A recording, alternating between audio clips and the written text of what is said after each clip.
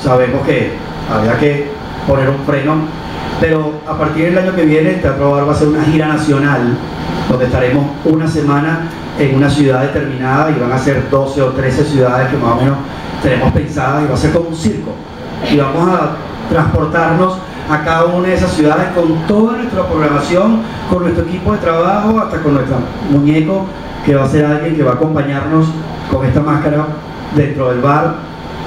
Nosotros vamos a tener eh, esa oportunidad de llevar a los demás estados del país y, ¿por qué no una semana en Miami, una semana en París, no sé, pero llevarlo, llevarle cómo se rumbea en el teatro bar a cada uno de, esos, de los estados del país, que nos parece una idea súper cool porque nunca, en lo personal, nunca me ha gustado eso de cerrado, Caracas, Caracas, y no, eso no existe para mí.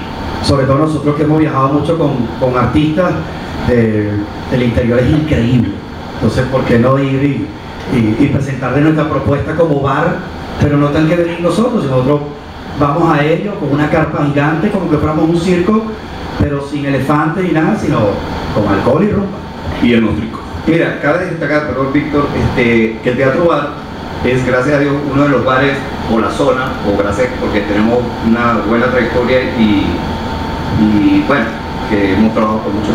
Este, el local es súper seguro, tenemos estacionamiento, muchos entes policiales pasan cada rato para, asegurar que todos los clientes se sientan súper cómodos. Tenemos un proyecto también de las angelitas del Teatro Bar, que nació hace bastante tiempo. puede ser. Una, una alianza comercial con Street Marketing, que aquí en la torre. Un día conversando con ellos aquí, echando unos tragos.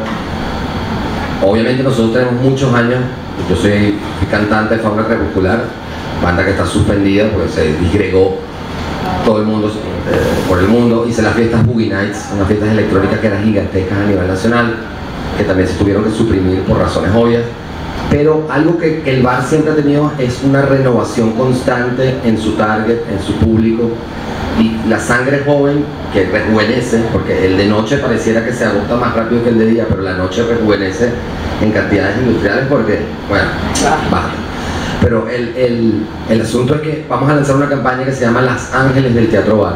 No son promotoras, no son este, anfitrionas, son embajadoras de una marca.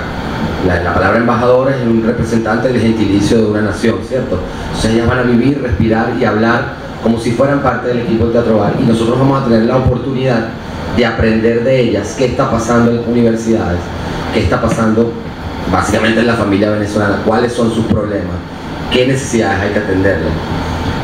Caracas es una, es una de las capitales más agresivas, lastimosamente, estadísticamente, del, del planeta en este momento.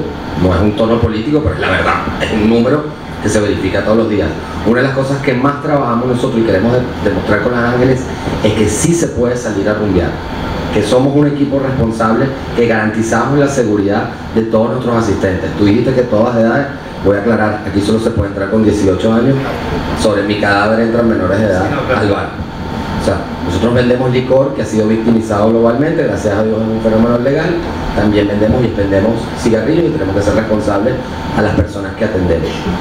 Cuando te referías a la edad, es que gracias a mi Milazo, hace ocho años, que se acercó a este bar amablemente, yo la veía en televisión, la admiraba, en sus locuras, ella viendo la situación que había pasado con los canales de televisión, tenía muchos amigos, probablemente con mucha creatividad, sin trabajo.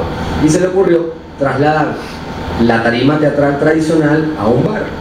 Nosotros no teníamos un carrizo, lo que estaba diciendo Mimi, pero vamos a probar. Y arrancamos a 250 la Cuba Libre, que fue una experiencia increíble, porque pudimos poner a la familia venezolana a participar de lo que es realmente un bar en una situación que tenía su guion y las actrices y compartir con, la, con actrices venezolanas famosísimas que aparecieron en una propaganda que parecen inalcanzables dentro de un espacio físico donde te tocan, te hablan, te echan broma, permitió que hoy en día toda esa cantidad de talentos, increíbles talentos de la televisión o de las artes teatrales, tengan otro espacio donde puedan manifestar y trabajar su arte. Venezuela necesita trabajo. Nosotros abrimos el lunes a lunes Así nos visiten 500 personas nos visiten 50, nosotros estamos abiertos porque nos gusta trabajar y un país se levanta trabajando.